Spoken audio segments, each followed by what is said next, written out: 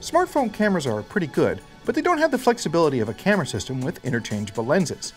The Olympus Air A01 aims to change that. This unique piece of photo equipment is essentially a cameraless 16 megapixel lens system that syncs directly to your smartphone.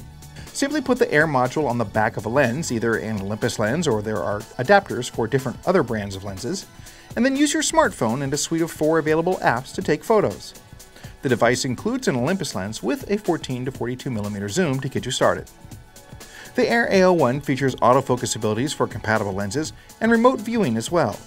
Or just mount your phone to the Air A01 and make it, well, more camera-like. You can also use the system to shoot video. There's Wi-Fi and Bluetooth built in for sharing your photos or accessing archive databases.